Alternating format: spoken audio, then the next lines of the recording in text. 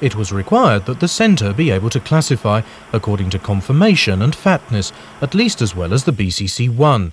It must also be able to classify according to fat colour. Furthermore, a high capacity was required, as was the ability to classify objectively without using manual probe measurements.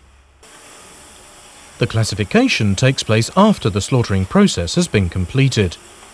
The carcass is transported on the overhead rail to the measuring station. During this transportation, a guide bar ensures correct positioning of the carcass. A stopping device separates the two halves of the carcass so that only the left half is moved into the measuring area. The other half remains outside. A frame suspended from the ceiling is moved forward to stabilise the carcass.